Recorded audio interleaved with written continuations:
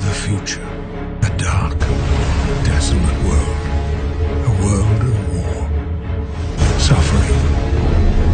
Loss. On both sides. Are we destined down this path?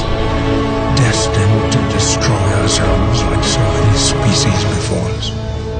Or can we evolve fast enough to change our fate?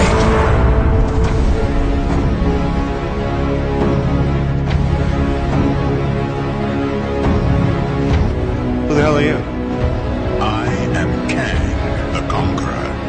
I have come from the 41st century, traveling through this backwater time period for one simple